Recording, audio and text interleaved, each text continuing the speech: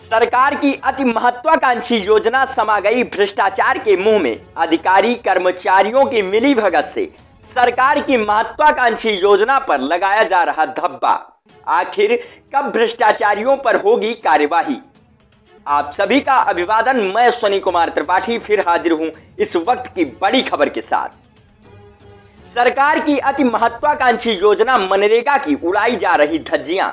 अधिकारियों, कर्मचारियों की मिली भगत से मनरेगा योजना के अंतर्गत जनपद, देश प्रदेश के तमाम मजदूर भुखमरी की कगार पर पहुँच चुके हैं।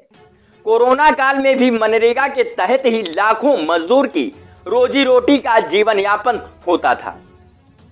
जब सारे व्यवसाय बंद थे, तब मनरेगा योजना चालू था। इसके बावजूद भी जहाँ सरोवर तालाब योजना खुदाई के तहत लाखों मजदूर काम पाते थे, वहीं आज पूंजीपतियों बड़े बड़े लोगों को लाभ पहुँचाने के अंतर्गत जेसीबी मशीन के द्वारा अमृत सरोवर तालाबों की खुदाई करके सरकार, अधिकारी, कर्मचारियों, मनरेगा, मजदूरों को ठगने और भुखमरी की कगार पर धकेलने का कार्य करते हैं।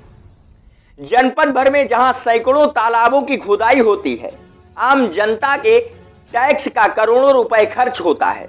लेकिन मनरेगा मजदूर ठगा जा रहा जाता है। या भाजपा सरकार की योजना जहाँ मनरेगा बजट कम कर दिया गया है, वहीं मजदूरों का भी ठगने का कार्य कर रही है।